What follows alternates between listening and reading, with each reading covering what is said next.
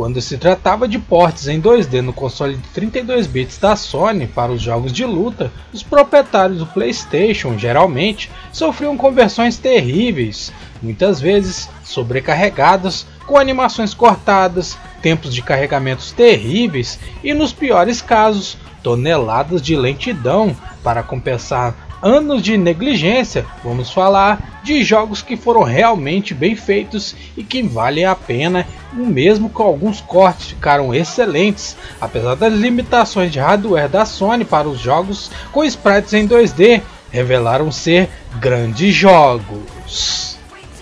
O primeiro Guilty Gear, apelidado de Missing Link, no Japão começou a ser produzido um ano e meio antes do seu eventual lançamento no PlayStation.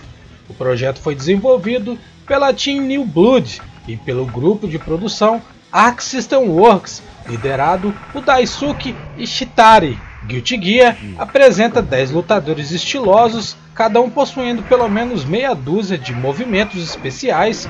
O layout de seis botões do jogo é semelhante ao da série Street Fighter da Capcom, mas oferece algo diferente que a maioria dos jogos de luta em 2D que você está acostumado a ver. Em vez de três socos e três chutes básicos, são seis botões, o medidor de tensão enche conforme os personagens se conectam aos ataques ou sofrem danos.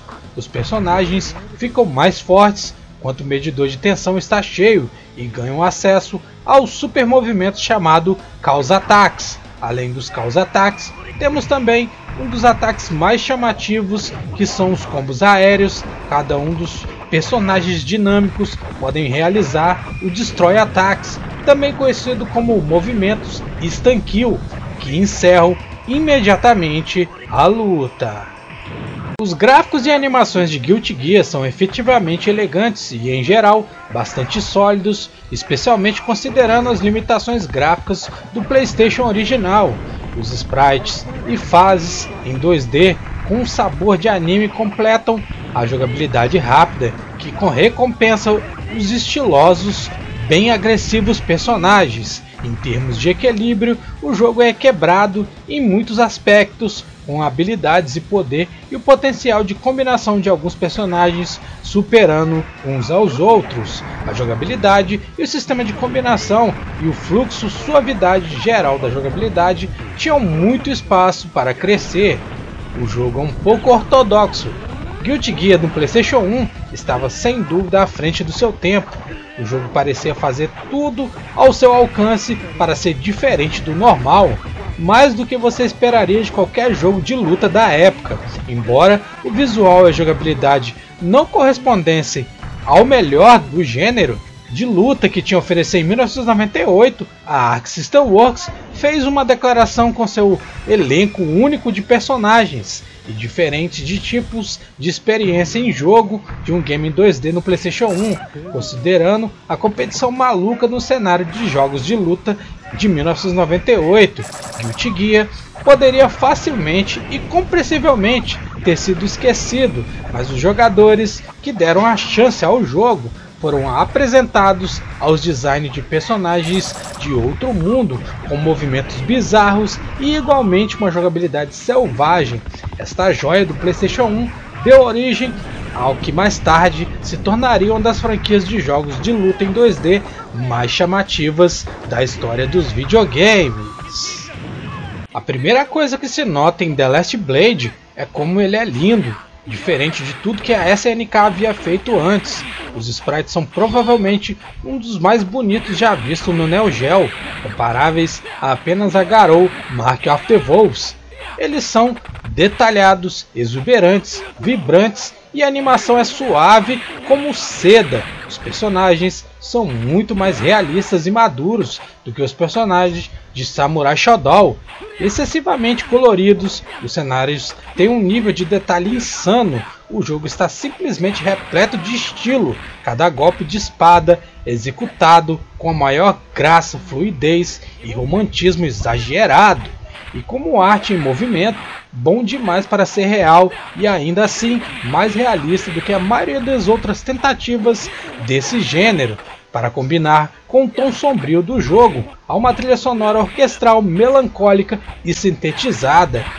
enquanto a maioria dos outros jogos desse gênero utiliza música tradicional japonesa. Este jogo reflete a influência ocidental de design visual e segue composições europeias. Nem toda batalha é travada e tem música. The Last Blade também se concentra muito em seus combos longos. O tempo de buffer torna a execução de combos uma tarefa maravilhosa para os experientes, já que você tem que apertar toda a sequência de botões para um combo que você conhece antes mesmo de executar o segundo ou terceiro ataque. Ele fluirá sem problemas. Quase todos os personagens têm uma ótima sequência de combos e você pode escolher qualquer personagem da lista que achar legal a ser um ótimo jogador com eles, porque provavelmente um dos jogos de luta mais equilibrados de todos os tempos. Não há dúvida que The Last Blade é um jogo excelente, no entanto, foi superado só por sua sequência, por isso permanece praticamente esquecido. A única razão real para jogar isso qualquer um dos cenários ou músicas específicos encontrados apenas neste jogo, a versão para PlayStation era mais ou menos igual em CD do Neo Geo, mas uma introdução de anime e os recursos adicionais, maioria da parte desse porte está muito bom, é algo impressionante para o PlayStation 1. Há algumas telas de carregamento bem demoradas, embora a ação geralmente ocorra em um ritmo decente, e alguns pontos de lentidão. No entanto, o estádio de Yuki é quase impossível de jogar porque os efeitos de neve adicionais aparentemente fazem com que o jogo rode quase em câmera lenta. De qualquer forma, The Last Blade é uma das joias escondidas da SNK e foi definitivamente inovador em termos de animação e apresentação. Capcom vs SNK Pro é uma sequência melhorada da primeira versão do jogo. Aproximadamente um ano mais tarde foi portado para o PlayStation. Em 2002, esta atualização apresentou alguns pequenos ajustes de jogabilidade e atualizações de equilíbrio, e adicionou dois novos personagens jogáveis na lista, Dan Hibiki e Joe Higashi. Curiosamente, esses dois personagens eram os personagens de alívio cômico, mais conhecido de cada franquia na época, fora os novos personagens e pequenos ajustes de jogabilidade, tudo no game é praticamente igual à versão original. O jogo usa a mesma trilha sonora, gráficos, fases, modos e etc. do primeiro jogo. Vale a pena mencionar que a versão de PlayStation 1 é uma versão competente mesmo as versões de arcade e Dreamcast sendo superiores. No PlayStation 1, devido à falta de algumas animações, mas mesmo assim é bem feito e ninguém estava esperando esse porte para o PlayStation 1. Isso levou algumas telas de carregamento clássicas para esse porte. Não me interpretem mal, eu gosto de algumas artes desse jogo, mas é chato vencer uma partida e depois esperar a tela de load. Era assim que havia vários jogos de PlayStation 1, mas isso não é tudo. Os efeitos sonoros são esquisitos nessa versão do jogo. Por fim, algumas animações tiveram que ser simplificadas, o que significa que os sprites tiveram que ser cortados. A maioria dos estádios estão presentes nesse jogo, não há nenhuma introdução realmente sofisticada para eles, já que estamos falando sobre a versão de PlayStation 1 e eu só queria que os cenários parecessem um pouco mais vivos. A trilha sonora é boa, traz algumas músicas clássicas junto com algumas faixas originais e bem legais. Sei que a notícia é velha, mas estou um tanto decepcionado com a quantidade de personagens da Capcom que reciclaram sprites da série Street Fighter Alpha. A Morrigan, em particular, é um caso impressionante de preguiça. Ela parece a mesma do jogo Darkstalkers. Dito isso, essa versão parece um esforço honesto, mas era tarde demais, era muito inferior às versões de arcade e Dreamcast. A série Jojo Bizarre de Adventure também tem animações fantásticas e suaves, mesmo quando os personagens estão apenas parados, eles exalam personalidade. As menores mudanças físicas dão a vida aos personagens enquanto eles controlam seus stands. Por exemplo, Kaikyo, que tem sua postura chamada extravagante, com contraste de jeito rude e intimidador de Jontaro. As animações dos próprios stands também são incrivelmente bem feitas, com movimentos suaves ininterruptos. A trilha sonora da série também chama atenção por ser uma das mais subestimadas da história da Capcom.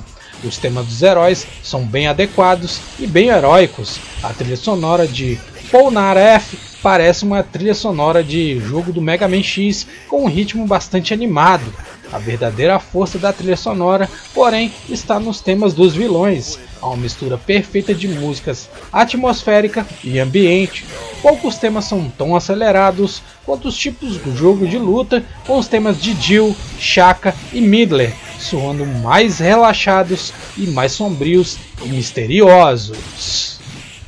Jojo Bizarre Adventure usa layout de controle de quatro botões, composto por três botões de ataque, leve, médio e forte, um quarto botão de stand, que liga e desliga a posição do lutador, Lutar com o stand ligado melhora as habilidades ofensivas e defensivas de cada personagem diferentes maneiras, dependendo do personagem.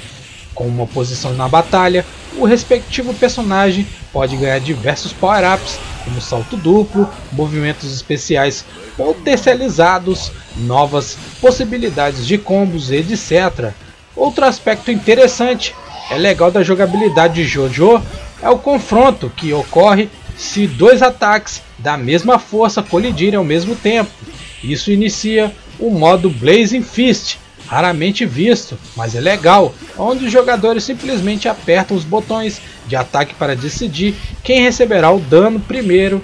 É bem estúpido, mas alguma forma se adapta à natureza do jogo e certamente parece incrível. Definitivamente é um dos jogos de luta em 2D mais divertido e bem equilibrado, mas Jojo Bizarre Adventure é um jogo de luta sólido e muito chamativo, definitivamente diferente de qualquer outro jogo de luta 2D da época que você já viu e também oferece alguns elementos de jogabilidade totalmente únicos. Hellbolt Fatal Fury Dominate, que foi lançado para o PlayStation em 1998, exclusivamente no Japão, a jogabilidade do game é básica e é praticamente a mesma do Hellbolt Fatal Fury Special, com algumas pequenas alterações. As paredes destrutíveis nas laterais dos estágios também foram removidas. Alguns dos movimentos dos personagens foram um pouco alterados. Os personagens X desapareceram, mas os seus especiais foram mesclados com o conjunto de movimentos dos personagens originais. A capacidade de se mover pelos planos dos cenários foram removidos e eu particularmente nunca curti e achei maravilhoso esse detalhe. Nessa versão, Gizzy também ostenta uma auréola sobre sua cabeça na tela de seleção de personagens, enfatizando que seu status é póstumo. A seleção de personagens é totalmente diferente, apresentando obras de arte totalmente novas. A sensação de tema ocidentalizado do jogo foram alterados e foram totalmente removidos. Estranhamente, existem especiais adicionais que devem ser desbloqueados ao vencer o jogo, Dois novos aspectos também foram adicionados: os impactos finais, que permite cancelar certos movimentos especiais e super especiais, e o guarda avançada, que é ativado ao acertar de frente triângulo justamente enquanto seu oponente está prestes a atacar, permitindo desviar e entrar no golpe do adversário. A grande adição é que Alfred agora é um personagem jogável e ele foi inicialmente introduzido em Real Bolt Fatal Fury 2, que na verdade saiu nos arcades antes deste jogo, mas ele era um chefe oculto impossível de jogar sem códigos. O enredo novamente não é canônico, mas dessa vez o vilão final é o White, um maluco baseado em Alex do filme Laranja Mecânica, ele é um cara maluco com poderes de controle mental e ele assumiu o controle de Billy Kane, que precisa ser combatido antes da batalha final com o próprio White. Ele também tem um truque particularmente desagradável. Uma vez finalizado, ele dispara seu projétil caindo do chão e você teve que evitar o ataque para não ser derrotado de forma instantânea. Existem também algumas novas sequências animadas, a introdução que mostra Alfred pilotando seu avião, chegando perigosamente perto dos irmãos Bogart, que estão lutando no chão. Também outra cena de ação e alguns outros personagens como Blue Mary, Mai e Joy, antes de mostrar uma luta entre Terry e Alfred, mas também há duas breves cenas em FMV antes da luta contra Billy e White. Há também uma introdução totalmente animada mostrando todos os personagens festejando, o que é realmente muito legal para dar um pouco mais de força ao jogo nas opções. Apresenta um modo de sobrevivência e um banco de dados de informações de personagens que contém a arte e o histórico de todos os personagens. No geral, é um pacote realmente útil e ainda há algumas animações de sprites cortadas e um pouco de carregamento aqui e ali, mas monumentalmente melhor do que a maioria dos outros portes lançados no PlayStation 1 da SNK. Bom, vou indo nessa, não deixe de curtir e compartilhar o conteúdo do canal, vejo que tem bastante gente que assiste os vídeos, mas não está inscrita no canal galera, bora aí clicar o sininho para se inscrever e receber todas as atualizações do canal. E valeu, falou, até a próxima e ó, fui!